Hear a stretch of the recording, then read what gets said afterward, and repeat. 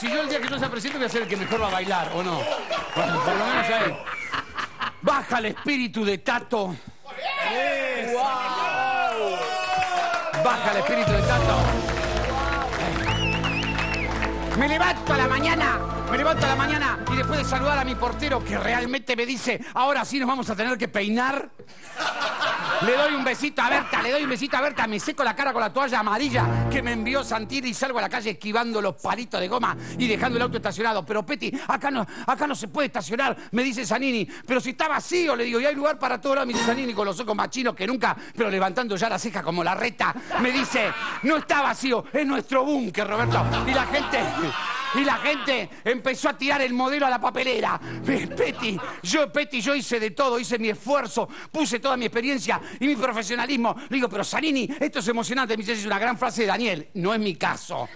Entonces, voy, voy pateando panqueques por la calle cuando me la cruzo a Lilita que me dice, Peti, venga así para acá que los estandartes de, de los K son pesados y usted anda mal de las lumbares. Le digo, tiene razón, le parece. Y me dice, por favor, Roberto, haga como yo, que estos globos de helio no pesan un carajo y por un dólar te regalan una bolsa entera.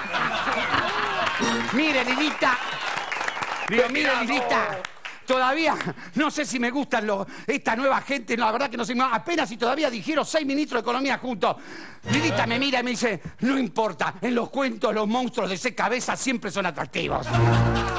Y si no, yo le digo, pero no puede ser de seis cabezas. Y me dice, no me rompa más la pelota, si no forme un partido y preséntese en las próximas elecciones. Ahí nomás paso entre una masa de gente pensando todo el tiempo que se puede, se puede, se puede, porque no podía pasar. Todos con niños a cococho como si estuvieran mirando una maratón y voy tocándoles la cabecita uno a otro, y uno me dice, boludo, soy la reta. Le digo, perdóneme. Y me abrazo con la secretaria que cuidó, que cuidó al Mauri de los 5 a los 54. Y me dice, me dice, no se preocupe Roberto, si siempre comió el puré y tomó la leche va a poder con los 12 palos que no lo votaron. Me asomo, me asomo en ese momento justo cuando Gabriela Michetti termina de participar en esa especie de programa de Marley que tenía en su cabeza con una canción y engancho a Mauri, a Mauri emocionado. ¿Cómo cambiaron los tiempos? Le digo a un señor de camisa celeste. Pasamos del llanto de Andrea del Boca al de un ingeniero.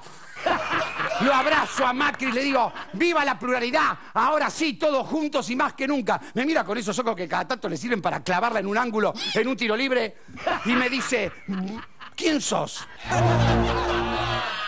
Lo miro así y le digo, le voy a cantar algo que le, que le llegue. Le pongo, se ven las caras, se ven las caras, pero nunca el corazón. Y me dice, ah, ahora sí me acuerdo de vos. Dejo el búnker y tras cruzarme a Brancatelli que buscaba su locker para retirar los pulóveres del invierno del año pasado, camino con la esperanza de un mundo color de rosa donde todos vivamos un poquito mejor y donde una bicicleta no me pise las patas. A sacarme me iba, a sacarme mi pasaje Uruguay, donde ahora sí tengo la seguridad de no cruzarme con Mirta en Punta Carrasco. Señores, Señores, si un camino te lleva al abismo y el otro a la incertidumbre, que el Papa Francisco nos diga cuál de los dos nos viene mejor. Y ahora sí, ahora sí, el nuevo eslogan que es Queen para todos y todas. Muchas gracias.